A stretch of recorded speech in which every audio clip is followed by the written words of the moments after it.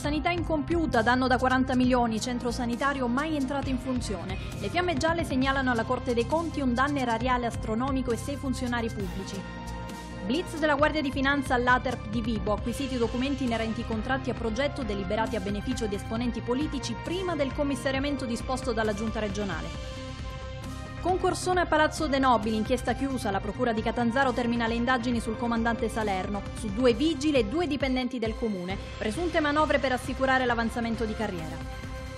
Due nuovi procuratori aggiunti, pronunciamento del plenum del CSM. Marisa Manzini passa alla Procura della Repubblica di Cosenza. Per Vincenzo Luberto, incarico direttivo a Catanzaro. Forza Italia divisa, ma la Santelli tace, ancora muro contro muro tra i componenti del gruppo in Consiglio regionale. Inquieta il silenzio della coordinatrice calabrese azzurra. Buon pomeriggio e ben trovati dalla C-News. In apertura la cronaca, al centro cuore di Reggio Calabria, danno erariale da 40 milioni. È l'ipotesi della Guardia di Finanza in un'informativa trasmessa alla Procura della Repubblica di Reggio Calabria alla Corte dei Conti, a cui sono stati segnalati anche sei funzionari. Sentite. 40 milioni di euro sarebbe questo l'ammontare del danno erariale causato dalla mancata attivazione del centro cuore di Reggio Calabria, lo scrivono i finanzieri del comando provinciale di Reggio in una informativa inviata alla Procura della Repubblica della città dello Stretto e alla Corte dei Conti di Catanzaro. È l'anno 2006 quando l'azienda ospedaliera Bianchi Melacrino Morelli pubblica il bando per la realizzazione della cardiochirurgia, ma i lavori vengono ultimati e collaudati solo nel dicembre 2011, dopo una serie di ricorsi e controricorsi. Il centro cuore però non è mai stato attivato. Nell'informativa informativa la Guardia di Finanza evidenzia responsabilità nei ritardi degli iter procedurali nonché nella mancata previsione delle risorse finanziarie per l'assunzione del personale specializzato, ma le ragioni sono da ricercarsi anche nell'impossibilità di assumere il personale medico e paramedico a causa del regime imposto dal piano di rientro dal disavanzo sanitario. Ad oggi le avanzate e costose apparecchiature del centro cuore Regino, dotato di due sale operatorie, 10 posti letto di degenza e altrettanti di terapia intensiva, acquistate con un leasing in 18 rate da 5 500.000 euro, per le quali l'azienda ospedaliera ha ancora in corso i pagamenti, giacciono completamente inutilizzate. Il danno erariale ipotizzato dalla Guardia di Finanza, che ha segnalato alla Corte dei Conti anche sei funzionari pubblici per eventuali responsabilità, ammonterebbe complessivamente a 40 milioni di euro, 18 per i lavori di realizzazione più le uscite annuali stimate in oltre 7 milioni e mezzo di euro, che in caso di attivazione del centro la sanità calabrese avrebbe potuto risparmiare in termini di mobilità passiva. E ancora cronaca, blitz della Guardia di Finanza all'Aterp di Vibo Valencia. I finanzieri in queste ore stanno acquisendo i documenti inerenti ai contratti a progetto deliberati a beneficio di esponenti politici prima del commissariamento disposto dalla Giunta regionale. Sentiamo. La Guardia di Finanza negli uffici dell'Aterp di Vibo Valencia. I militari delle Fiamme Gialle stanno eseguendo in questo momento l'acquisizione di alcuni atti disposta dalla Procura della Repubblica guidata da Mario Spagnuolo. Nessun commento da parte del procuratore. In base alle prime notizie apprese, i finanzieri starebbero estraendo copie del carteggio inerente ai contratti a progetto relativi alla ricognizione del patrimonio delle Aterp calabresi. Gli ultimi contratti sono stati deliberati pochi giorni prima dell'azzeramento del vertice disposto dalla Giunta regionale. Tra i beneficiari, come fatto emergere da un servizio d'inchiesta sulla CNews 24 che ha sollevato il caso, diversi esponenti della politica locale. Della vicenda si era subito interessato il prefetto di Vibo Giovanni Bruno mentre la parlamentare Dalila Nesci aveva chiesto un intervento della Procura. Ai nostri microfoni l'ex commissario dell'Aterp Tonino Daffina si dice sereno, sebbene dalle sue parole traspaia una certa amarezza. Sentiamolo. Eh, più che scandalo parlerei di polverone che è stato fatto in questi giorni eh, sui giornali, ma senza attribuire responsabilità naturalmente alla stampa.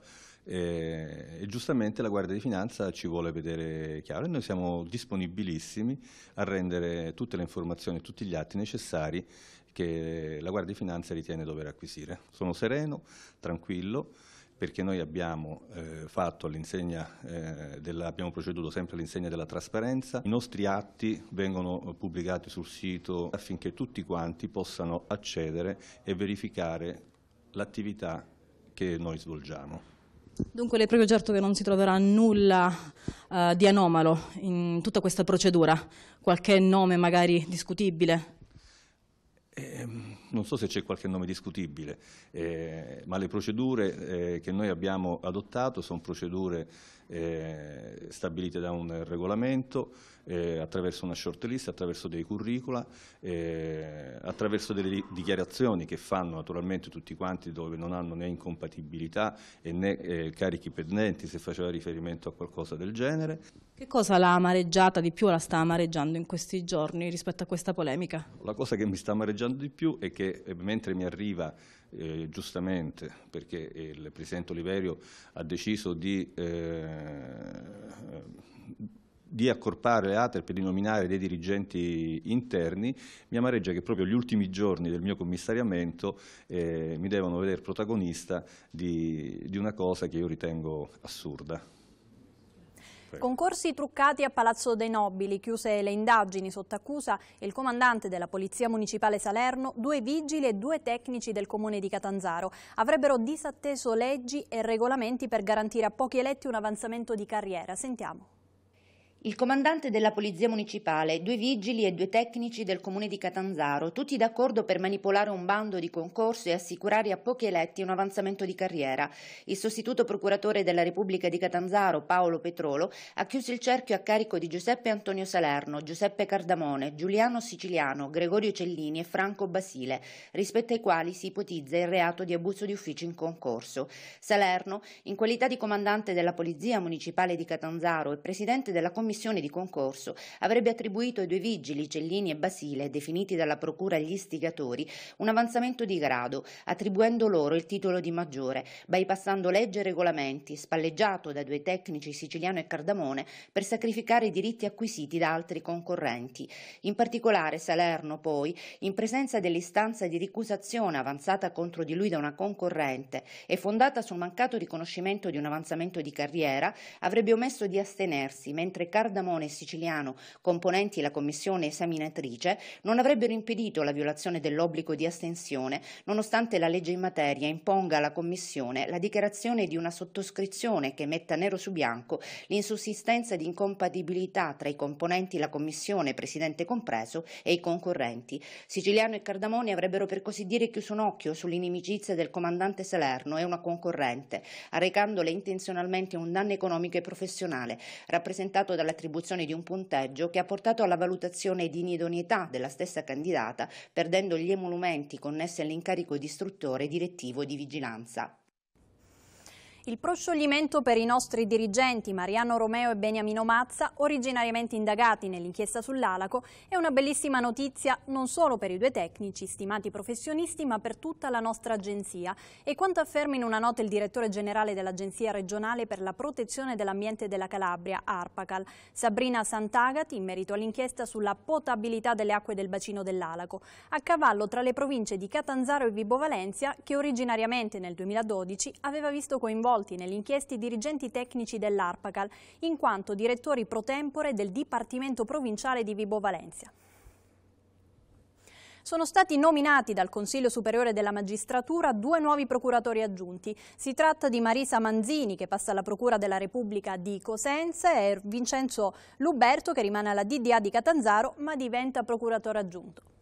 Importanti novità nei due principali tribunali calabresi. A Cosenza arriva Marisa Manzini, che è il nuovo procuratore aggiunto della Repubblica nella città dei Bruzzi. La nomina è stata decisa all'unanimità dal plenum del Consiglio Superiore della Magistratura, che ha accolto la proposta, anche questa unanime, della Commissione incarichi direttivi dell'organo di autogoverno della magistratura stessa. Il giudice di origini piemontesi, dal 2003 al 2009, ha lavorato nella direzione distrettuale antimafia di Catanzaro, conducendo importanti inchieste, in particolare sui clan di Indrangheta del Vibo Narbonese. Quindi il suo passaggio alla Procura Generale della città dei Tre Colli, dove è rimasta per quasi sei anni.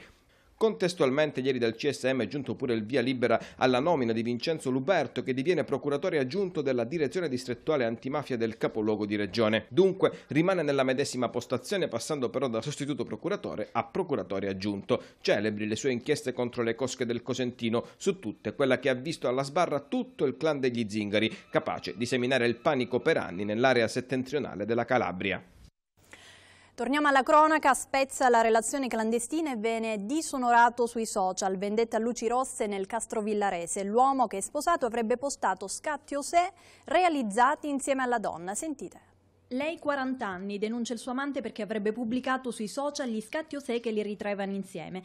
Una storia peccaminosa che emerge dalle pieghe della denuncia presentata da una donna che rischia di perdere la sua onorabilità per colpa della gelosia e della rabbia del suo amante. Quell'esposto è finito sul tavolo del capo dei PM di Castrovillari, Franco Giacomo Antonio, che ha aperto un fascicolo. L'indagine mette a fuoco lo scenario imbarazzante di una relazione che una donna di Castrovillari non sposata avrebbe intrattenuto con un uomo invece felicemente sposato e con figli figli, di qualche anno più grande di lei.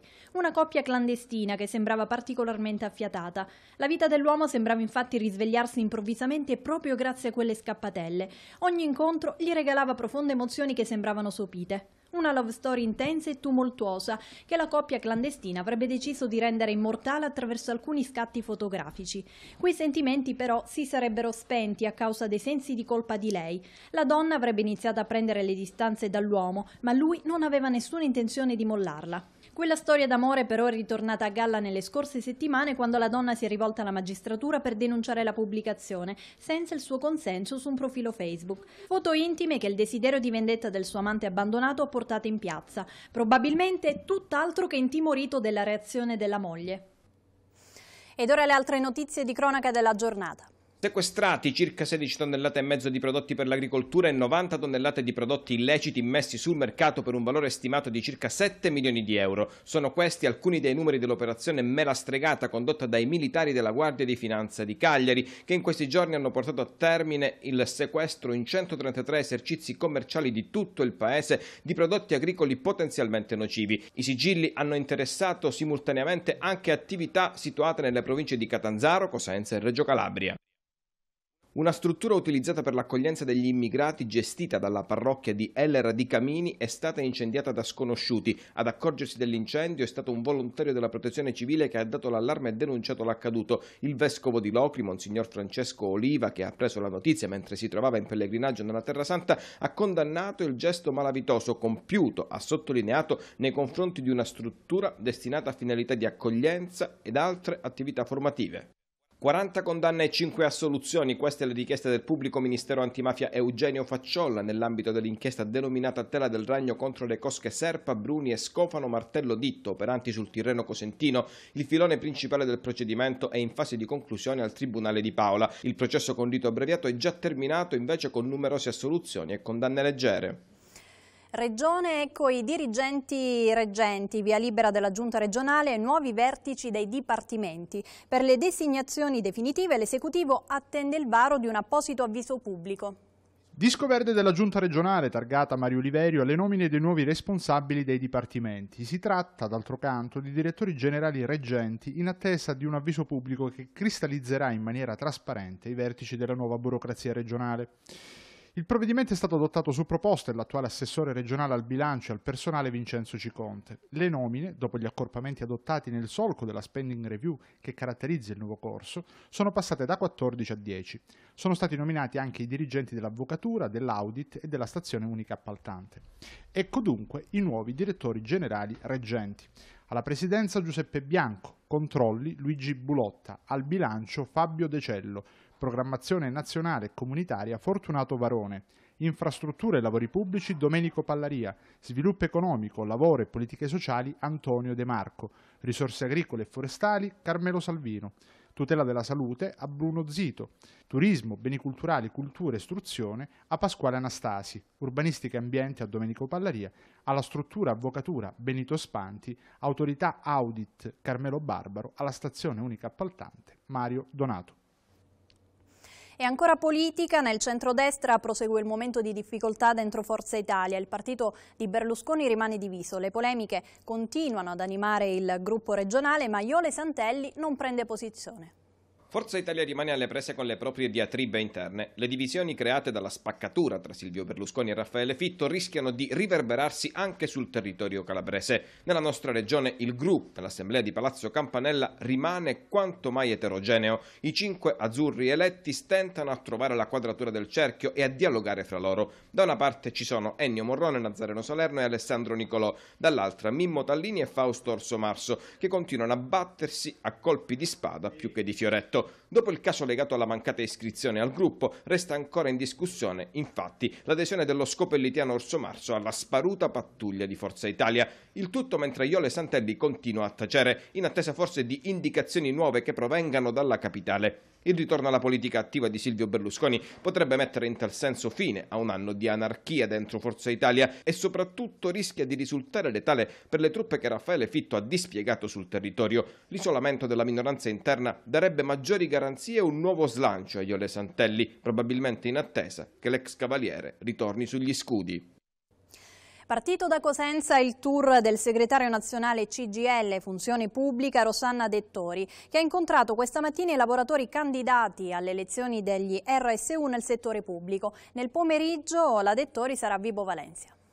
Parte da Cosenza il tour del segretario nazionale CGL Funzione Pubblica Rossana Dettori, che ha incontrato i lavoratori candidati alle elezioni degli RSU nel settore pubblico. Diversi temi trattati durante l'incontro, dalle conseguenze dei tagli lineari imposti a livello governativo al blocco dei contratti e del turnover, passando per accorpamenti che invece di dar vita a una burocrazia efficiente creano solo meccanismi farraginosi di un sistema che di moderno ha poco o nulla.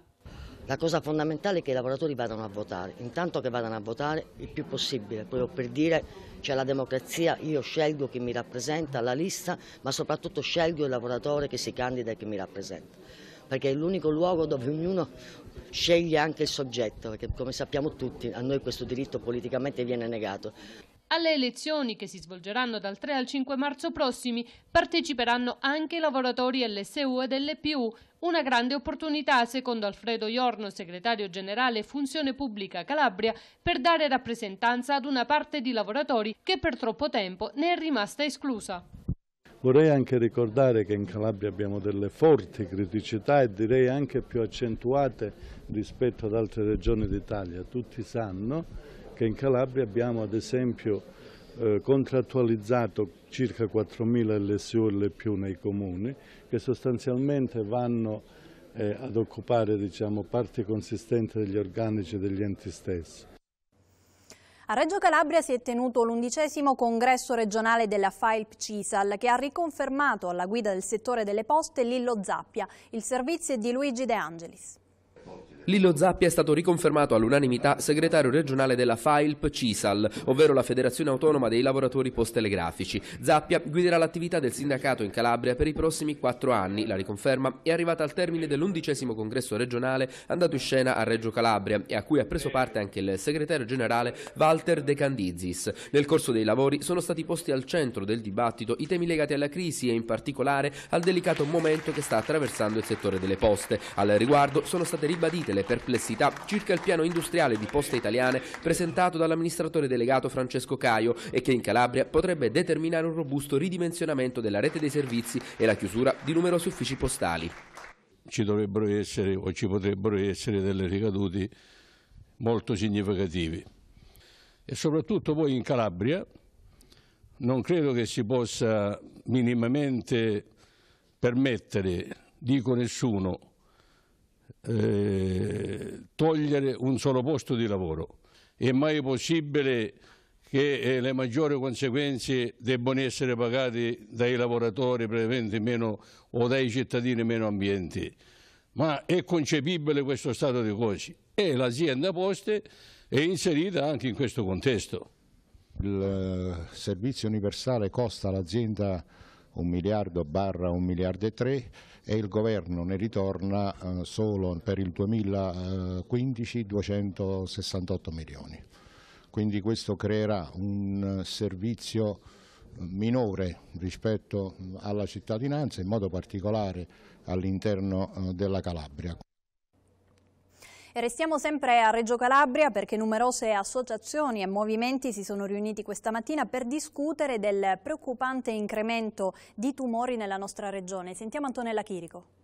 Impennata continua delle neoplasie e crescita esponenziale di siti inquinati sul territorio calabrese hanno spinto numerose associazioni ad indire una conferenza stampa unitamente all'ex consigliere regionale Giuseppe Giordano per chiedere chiarezza e soprattutto rimanere vigili sulla problematica. Le federazioni presenti alla sala giuditta elevato del Consiglio regionale hanno ribadito, dati alla mano, che nonostante le delibere e le azioni concrete protocollate dalle istituzioni, ad oggi la Calabria è priva del registro registro regionale dei tumori. A tutt'oggi non abbiamo questo ehm, strumento che è fondamentale per eh, lo studio eziologico tra eh, effetto e causa cioè capire cosa effettivamente accade in un determinato territorio e quali sono le cause per poter intervenire. Sono 714 i siti ritenuti inquinati sul territorio calabrese, di questi 190 solo nella provincia di Reggio. Secondo i movimenti presenti alla conferenza, tre sono gli attori che devono lavorare sinergicamente, ma qualcuno latita.